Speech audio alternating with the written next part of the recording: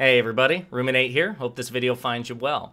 So today we are launching our first episode of TLDR. And again, if my 85 year old grandma's watching, TLDR is an internet acronym that stands for Too Long Didn't Read.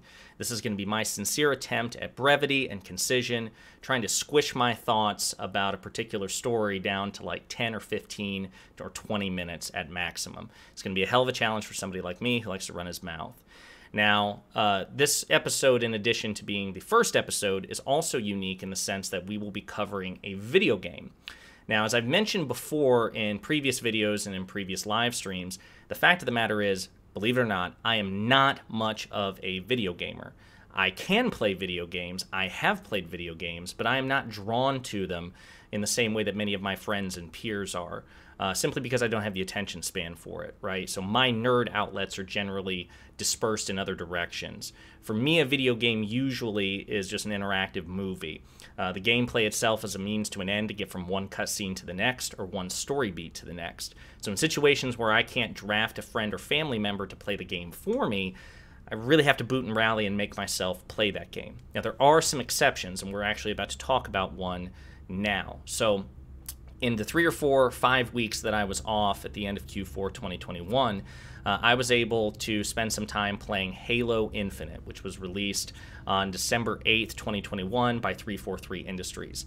Now, the Halo series are a point of nostalgia for me because uh, they were my introduction, my gateway drug to console gaming uh, back in the early 2000s, and I bought uh, my first Xbox in 2001 because of Halo Combat Evolved. So I've been a big fan of the Halo series uh, ever since, and they have a soft spot in my heart. So, uh, just a recap for those of you who don't know Halo is a multimedia science fiction franchise that is based around a series, a central series of video games, um, starring uh, the, the main character, which is John 117, aka the Master Chief.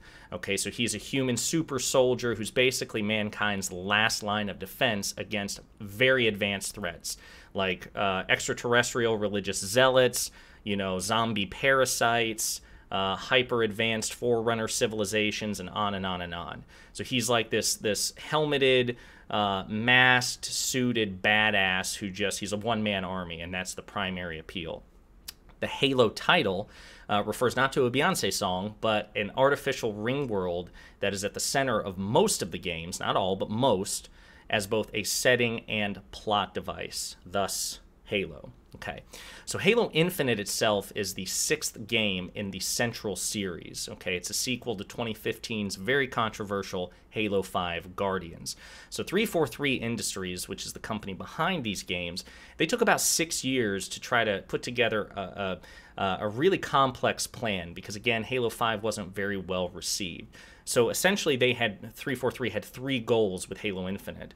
Uh, they wanted to provide like a satisfying conclusion to the plot threads in Halo 5 because they weren't just going to ignore that Halo 5 happened. They had to address it. They also wanted it to be a course correction uh, to bring back old fans and, and get the get the series back to you know the days of the first and second and third Halo, which are considered the peak of the games.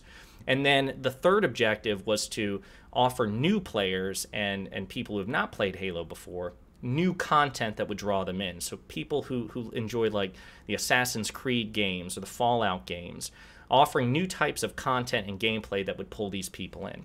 So that is a hell of an ambitious plan by 343. The question is whether or not they succeeded.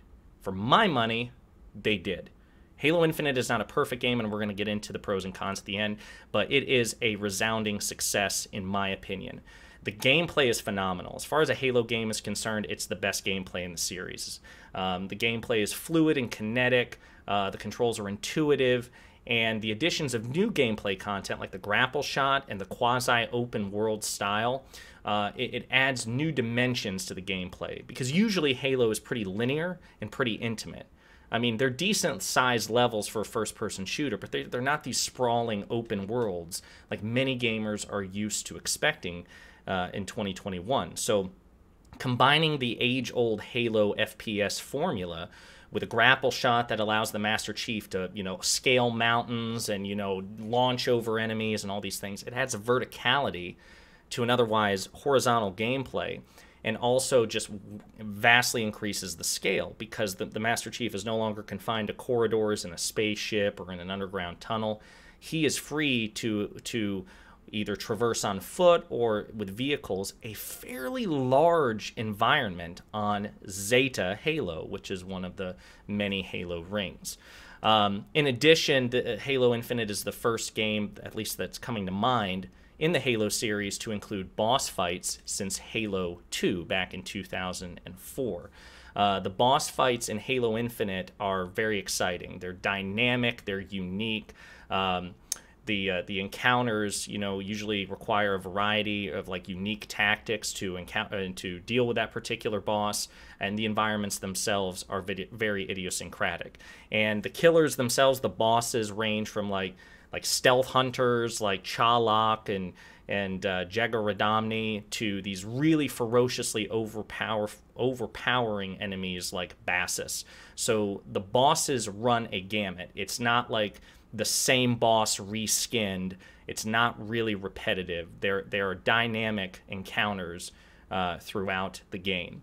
In addition, they also have, um, I don't want to say supplement game styles, but um, in addition to the main storyline, I suppose I would say the Master Chief also has other forms of content that he can do. He can, uh, you know, as he's traversing the, the setting, which is again Zeta Halo, he can recapture what are called forward operating bases, uh, which are human bases that have been seized by the, the game's enemies, the Banished, and the Chief can kill the enemies and reclaim them and essentially use them as a rallying point for humanity's you know survivors and the equipment that they carry. So uh, it increases mankind's foothold on the ring. That's one form of content, and then there's like a, a high value target gameplay loop as well, where there are non campaign, non main storyline enemies and bosses and powerful figures scattered throughout the ring that the Master Chief can hunt down and, and get special weapons and unique again unique encounters and essentially eliminate his enemy's uh, stranglehold on the ring. So all of these things make Halo Infinite, in my opinion, by far the best gameplay experience in the series. So bravo to 343 with respect to all things gameplay from my perspective. Now, as far as the rest is concerned, we are going to delve into spoilers, and I probably should have, you know, prefaced the video with that, and I'll make sure I do that in future TLDR videos. But we are going to dive into spoilers because I don't think you can have any sort of meaningful analysis of a particular story unless you get into the nuts and bolts of it. So let's get into um, the prologue. Let's just start with the prologue first. I think that Halo Infinite has a fantastic prologue. Um, it's kind of like it reminds me very much of Star Wars: A New Hope, you know, where the Star Destroyer is bearing down on the Rebel blockade runner and it just sucks audiences in. Halo Infinite's prologue does the same. So it begins immediately with an epic space battle. Uh, hum- humanity's um, gigantic uh, military flagship, the UNSC Infinity, which has been in Halo 5 and Halo 4. It's like they're one ship that can that can slug it out on even footing with pretty much any other ship in the galaxy by any of their enemies.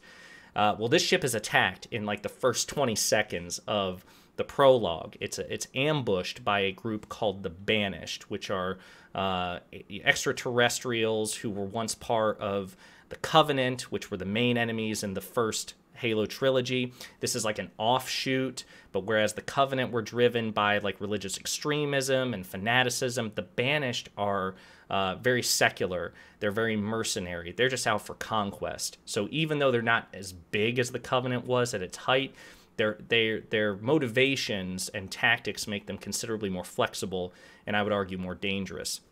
So it's a beautifully rendered cutscene. We go inside the ship. The Master Chief is running and gunning in this beautifully, you know, filmed uh, scene where he's killing gov- uh, uh, banished boarders left, right, and center. He's just he's mowing down elites and jackals and whatnot, and he's picking up weapons, discarding them when the ammunition has expired. And then he encounters Atriox. Atriox is a is the leader of the banished. He is this hulking eight foot and a half tall brute alien. He was uh, the primary villain in one of the offshoot games, Halo Wars 2. And we see a cutscene battle between the Master Chief, who has been this mimetic one man army, this ultimate badass. We see the unstoppable force encounter the immovable object because Atriox in Halo Wars 2 was built up to be quite a badass himself, in addition to being a tactical genius. So we see these two apex warriors fight, and it goes very badly for the Master Chief. Um, this to me really sets the stake. This prologue is incredible because we see these two figures clash and the Master Chief gets his ass kicked. Atriox is stronger, he's faster, he's a better fighter. Master Chief isn't completely eviscerated, but he's he's totally outclassed. And then Atriox essentially leaves him for dead. That's how the cutscene ends. Uh, the gameplay proper takes place effectively four weeks later. Uh, the Banished have essentially destroyed the Infinity, have scattered humanity. Most of the people on the Infinity were killed in action, but there's some survivors scattered around. And the Banished have taken control of Zeta Halo, which is the ring uh, around which the prologue battle took place. The Master Chief is adrift in space. He is found by a, a lone human pilot, uh, just called the pilot for most of the game. His name is eventually revealed to be Fernando Esparza. And uh, he fishes the Master Chief out of space, he revives him, and that's how the game begins. Now, as far as characters are concerned, the game did extremely well um, in, in, giving a, a, um, a, fairly dynamic cast, which is not the primary appeal of the Halo series. Okay, so again, the titular player, the main character, the player character is the Master Chief. Um, who is who's very much wounded uh, psychologically from the events of Halo 5, you know, by the betrayal of his longtime artificial intelligence companion, Cortana, who's been a mainstay of the game since Halo 1. She was the voice in our ear, she was our guide, she was um, our ally uh, when it was just us. And after the events of Halo 4, she became the, the, the big bad. She went rogue and became the arch villain of Halo 5 which put her and the Master Chief in diametric opposition. And their relationship was like close allies and friends, even had quasi vague romantic implications as well. So the Master Chief has very complex feelings about this person eh, who betrayed him. And um, he's still wounded by that. So he's even more stoic and closed off than ever. I already mentioned the pilot, who is one of the primary support characters. You don't play as him, but he's a recurring figure throughout the game and the cutscenes. Um, the the pilot is not a super soldier. He's not even a soldier, right? He is. Spoiler alert: He's not even technically a pilot. He was a human who tried to flee the battle uh, against the Banished in the prologue, but didn't make it out in time. He just happens to know how to fly a ship reasonably well. He is scared, he is traumatized, he knows that he is completely out of his element, and he desperately wants to get home to his family. Whereas the chief, who outranks him, uh, wants to investigate what's going on in Zeta Halo and wage a war against the Banished. So, again, the pilot wants to leave for understandable reasons. The chief feels he's duty bound to stay. And so there's tension between these two characters uh, as the game progresses. Uh, another supporting character is the weapon. So, again, I mentioned Cortana, the chief's artificial intelligence companion who turned rogue. Um, she represented a tremendous threat to humanity in Halo 5. And uh, in between Halo 5 and Halo Infinite, humanity desperately was looking for means to deal with her because she wanted to conquer the galaxy and she's an artificial superintelligence. So the best way they found to deal with her was essentially clone her. Uh, they created her in the first place, so they cloned her into a new AI called the Weapon. And it was essentially like a, a means of fighting fire with fire. The only way to destroy a rogue ASI, in their view, was to create a new ASI that could deal with her. So the weapon becomes the new Cortana, so to speak. She quickly becomes the chief's constant companion throughout the game, his guide, um, his his technological asset, the person you know giving him one objective to the next and advising him on how to do this and that. Um, and she is voiced, the weapon is voiced by the actress who voices Cortana, Jen Taylor. And hats off to Jen Taylor because she makes these characters feel very quickly like completely different. Even though the weapon and Cortana are visually identical, And even though they have similar tone, Jen Taylor gives a very dynamic performance that allows you to distinguish between these two characters very quickly. Whereas Cortana was sassy and assertive and was willing to bark orders at the chief, she wore the pants in the relationship. Um, the weapon is chipper and bubbly and kind of naive. So she's much more friendly and open than Cortana ever was. And then, of course, the chief himself is as stoic and closed off as he's ever been. So that tension, as the game progresses, is very interesting. Uh, the big bad of the game was was really surprising because it's not Atriox. Atriox, the leader of the Banished that I mentioned in the prologue, he's MIA by the time that the game properly begins. He is presumed dead shortly after his battle with the Master Chief in the prologue. So the primary villain of the game is Atriox's mentor, Escharum. Uh, he is an aged warrior. Um, He's uh, he's somebody who is like reluctantly trying to lead the forces of the banished in Atriox's absence. And he and the chief don't have any like personal encounters in the game until the very end. Uh, but he is a frequent uh, he makes frequent appearances throughout the campaign in the form of holograms and some special cutscenes which show his side of the conflict.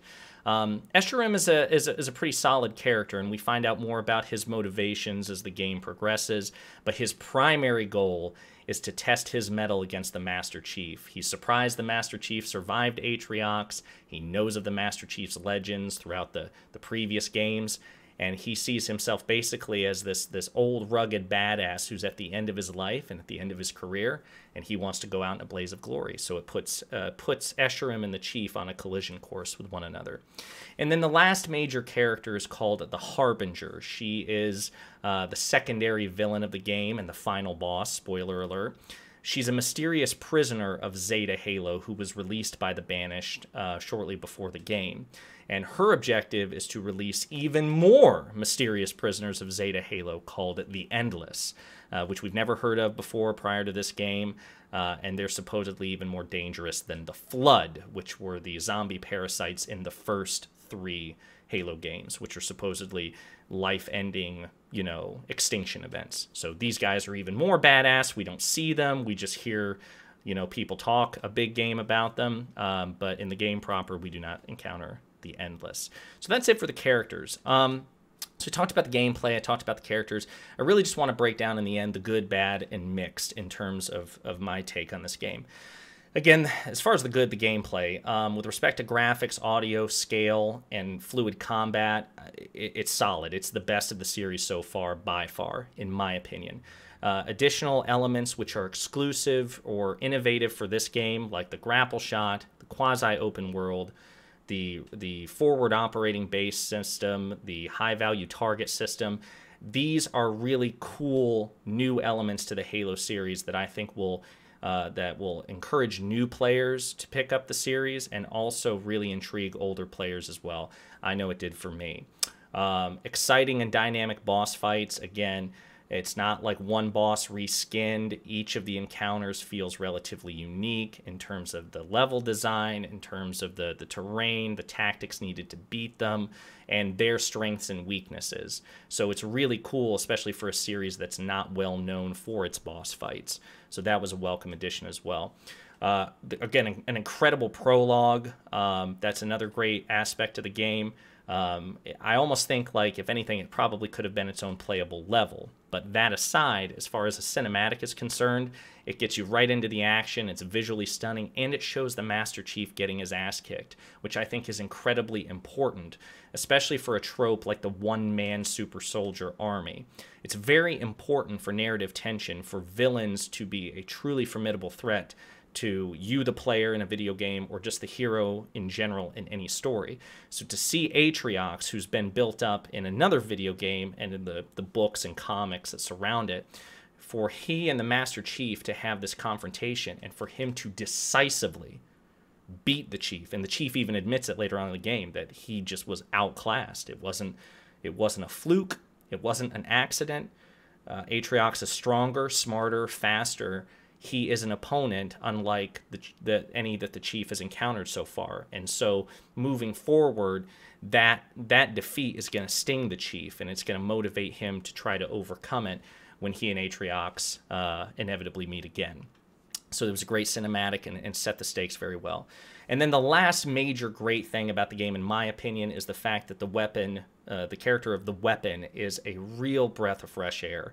You know, the Halo series has its moments of levity, but for the most part, it's a relatively straightforward action adventure science fiction game. So it can it can lean very grim. It can just be one relentless explosion after another. So to have a character who is bubbly and chipper and is the exact temperamental opposite to the Master Chief, who is the stoic, grim, you know, taciturn, you know, super soldier. That dynamic and that contrast is very, very welcome. And again, a great performance by Jen Taylor. As far as the bad of the game is concerned, I don't really have much, but uh, it's not perfect. One of the big ones for me is the bait and switch with with Atriox. The prologue you know, again, was really great because it put Atriox and the Chief on a collision course. We saw their first fight, their first round, where Atriox decidedly won. And then he's absent for the entire game until a post credit scene at the end, which reveals he's still alive. So the bait and switch, where he's set up to be the arch villain, and then kind of substituting him with Atriox, or excuse me, with Escharum, that's kind of a disappointment. Uh, I was really looking forward to a prolonged campaign and series of battles against an enemy as formidable as Atriox. Um, the Harbinger, which is the secondary villain of, of Halo Infinite, is probably the least interesting and least memorable villain in the series. Um, you know, she has just generically villainous lines and a decent voice performance, but we, we, we don't know anything about her other than that she just wants to release the Endless, and we don't know who the hell the Endless are either. So just very wafer thin. Um, she doesn't offer much, but other than just I guess you know that that trope of the the existential ancient threat. Um, so I, I'm I'm really disappointed with with the Harbinger, and I think time could have been better invested either with Atriox or indeed Escharum. Um, and then on that on that note, the last major thing I would I would say is that the trope itself of the ancient existential world-ending threat, it has its place, but it's it's really tired. Halo already had that in the form of the Flood, which again was the ancient or was the zombie parasites of the first three games. Uh, Halo 4 reintroduced the Forerunners, which were the creators of the Halo rings. They are an ancient, advanced existential threat and now the endless. And it was almost kind of laughable in the sense like oh we have another one and but we don't you don't know what they look like. You don't know anything about them other than that they're scary and worse than the flood. Maybe that was meant to be ominous but it didn't really register with me personally. It was just kind of boring. Um, in terms of the mixed efforts or the the mixed bag um, Escharum, um, you know a great great performance a great attempt. Um, to make Escharum a relatively unique big bad, especially in the absence of Atriox. But um, Escharum's nuance in his development are only hinted at and then dropped on us at the very, very end after his confrontation with the chief and and he's mortally injured and the he and the chief after the boss battle have like a, a, kind of a tender moment where the chief actually cradles him as he dies and the the dialogue towards the end suggests that Escharum again is this this tired you know soldier he's he's dying apparently from some sort of cancer or illness and that's part of the reason why he's motivated to go out in a blaze of glory against the chief. Um, but there's also there's also some dialogue that suggests that Escharum is is really is full of regrets and he's doubting the direction his life took and, and all these things. But we don't really see that in in the cutscenes and dialogue that deal directly with Escharum so there should have been more build up if that's what they were going. There should have been more cutscenes or more exchanges with Escharum where we actually see his regrets and his doubts on an existential level, uh, but we don't see that. So mixed bag, good villain and, and, and, really great boss fight, but not what they think. I, I don't think he reached the level that 343 was trying to reach with him.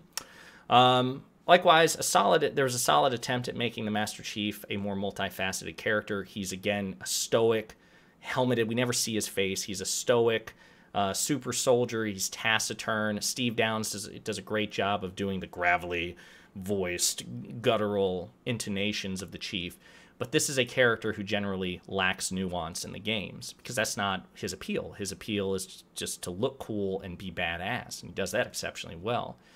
Um, this isn't the first attempt to get more mileage out of the chief in that regard.